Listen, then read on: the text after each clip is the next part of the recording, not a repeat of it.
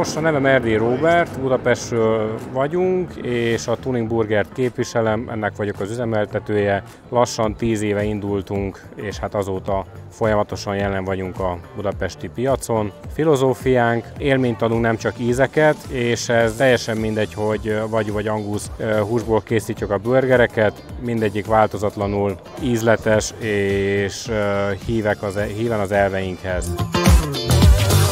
Hogy hol képzelem magam 10 év múlva? Hmm, lassan, hát lassan, 10 év múlva 60 leszek, de én azt gondolom, hogy ugyanúgy fogok dolgozni, mint ahogy most is teszem nap, mint nap. Ez egy életforma, ez, ez, ez sose fogom feladni, hiszen szerencsés vagyok, ez a hobbim egyben. Szeretném látni a következő generációt, amint a, a burgereken felnőnek, és hinni azt, hogy ez az élmény rájuk is hatással lesz, és egy biztos pont szeretnénk lenni a továbbiakban is a budapesti burger térképen.